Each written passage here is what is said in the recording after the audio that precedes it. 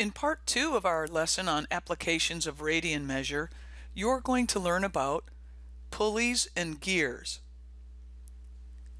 In this first example, we're told that a pulley has a radius of 4 inches and rotates at 5 RPM.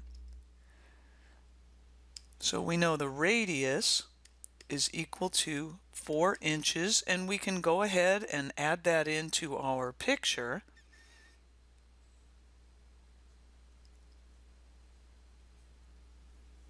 It rotates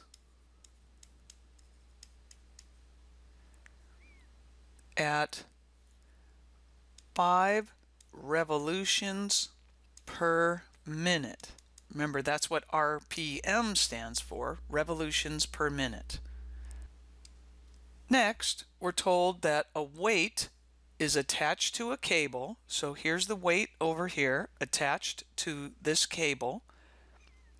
And the cable wraps around the pulley. So as the pulley turns, the cable will wrap around the pulley. How far is the weight raised if the pulley is rotated for 90 seconds? All right, so we know we have a unit of time here, and that's going to be 90 seconds. Now, as the pulley rotates and it pulls the cable around it, then whatever distance the cable travels around the pulley will be the same distance that the weight raises up.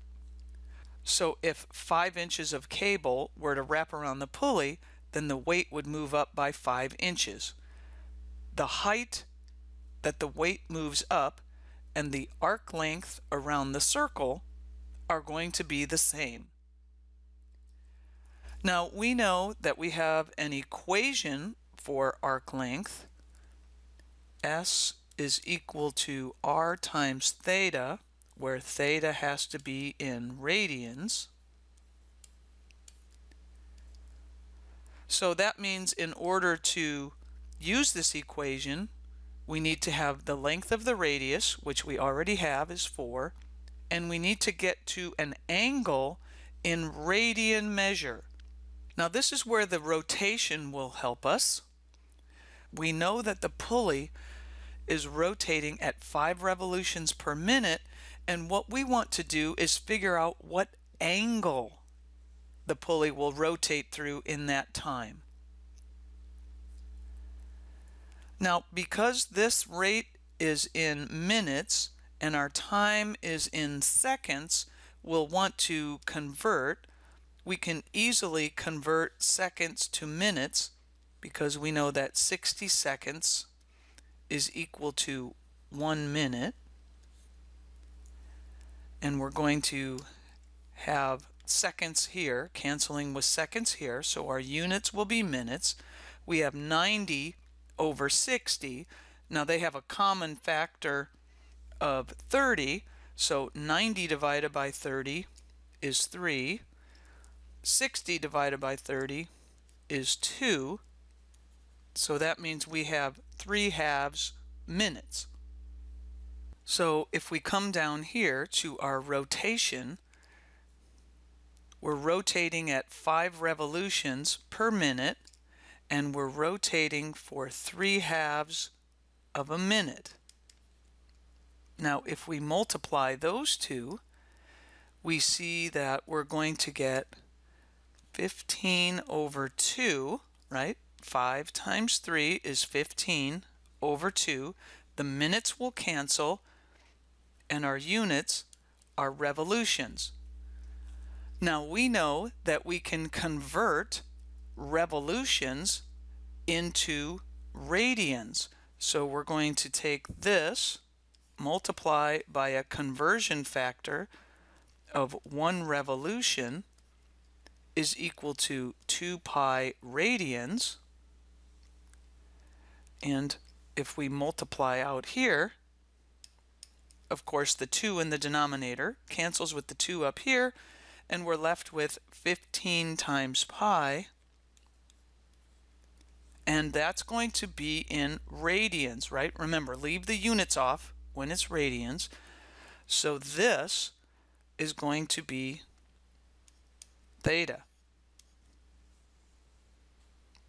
Now, in this equation, we know r, and now we know theta in radians, so we can plug in the arc length is going to be r times theta, which is going to be 4 times 15 pi, which is equal to 60 times pi. And the units here, remember 15 pi has no units, 4 is in units of inches, so this would be 60 pi inches. Now, we would probably want to approximate this with a decimal value. So let's go on over to our calculators and we'll take 60 times pi, which on your calculator, as you've noticed, you can just enter 60 pi or you could enter it as 60 times pi. Hit the enter.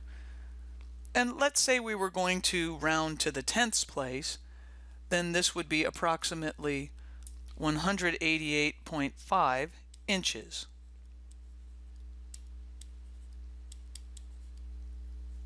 Now because this was a word problem, we should write a sentence as our answer. So we would say the weight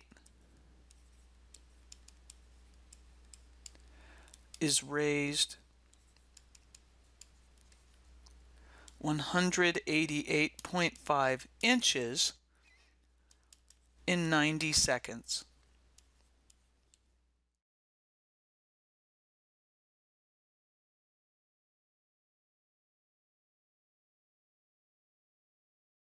In this next example, we're told that two gears are connected together. The smaller has a radius equal to 1.5 inches. So why don't we go ahead and put that in our picture. And the larger has a radius of 3.6 inches.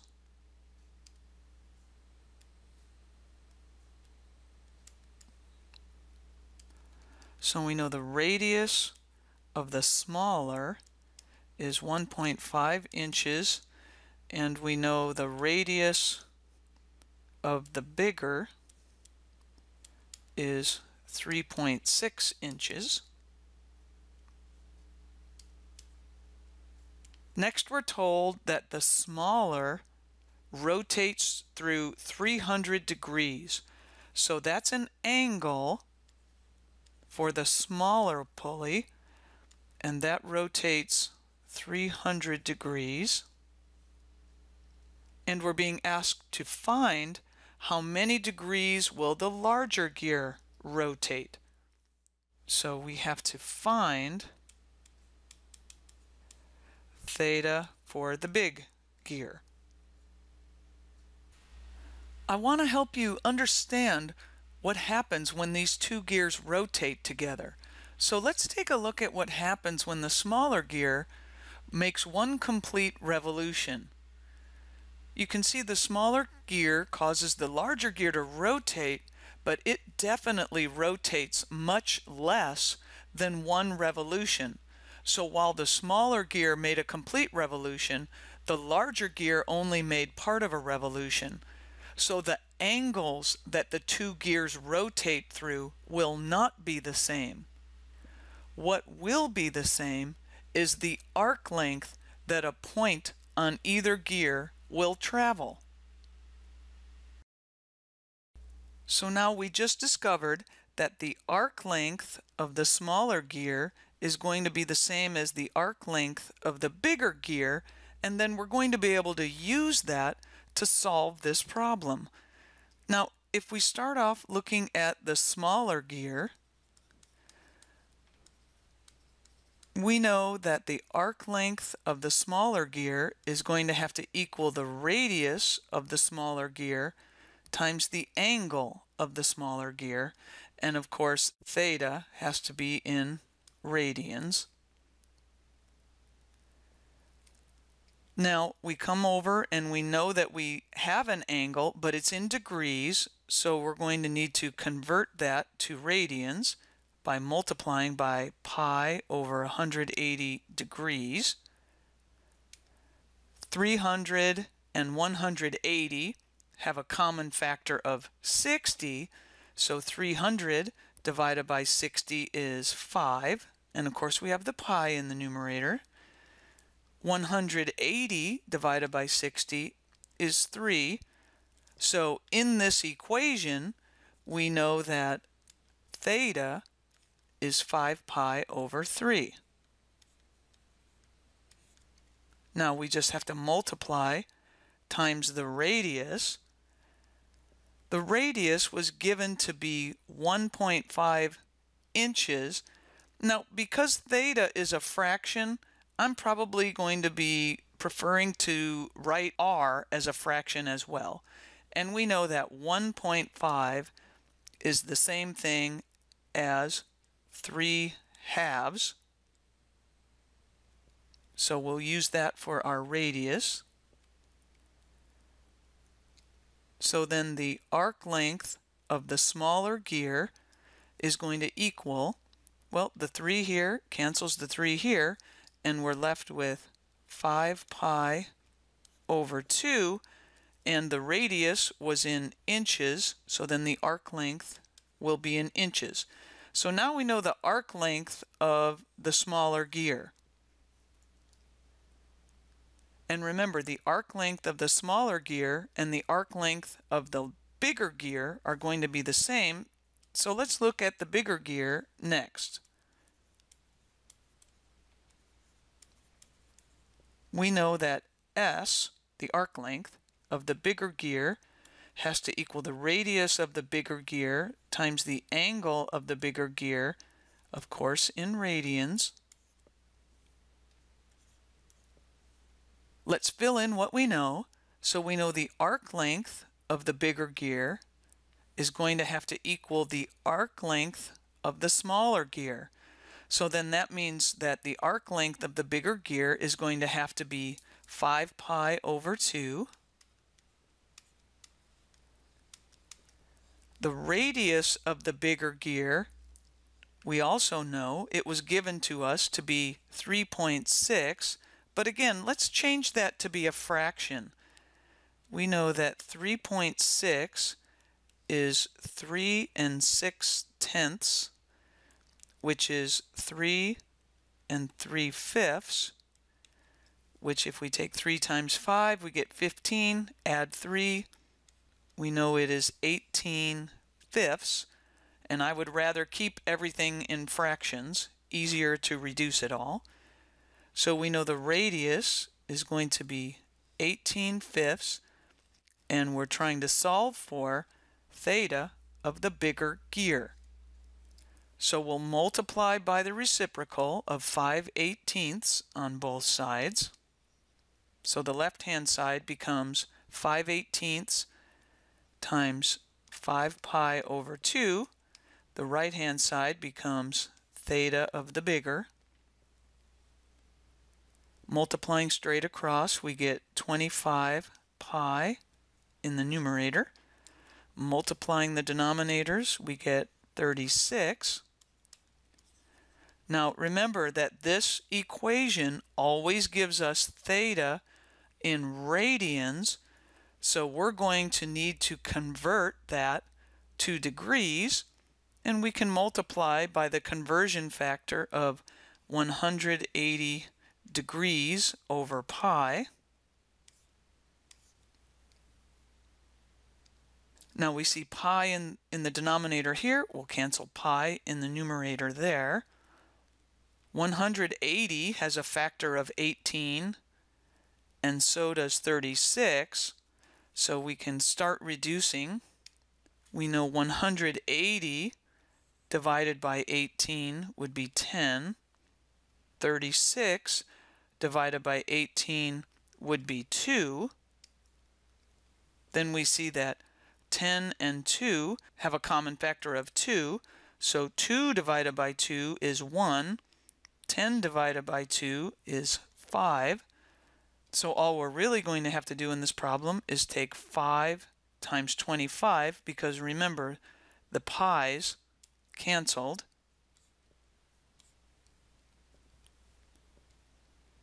So 5 times 25 is 125 degrees.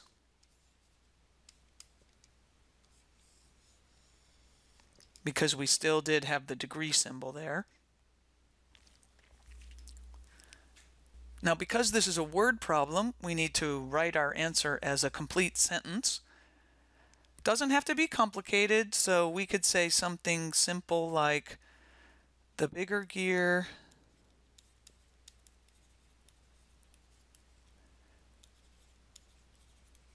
rotates through 125 degrees as the smaller gear rotates 300 degrees.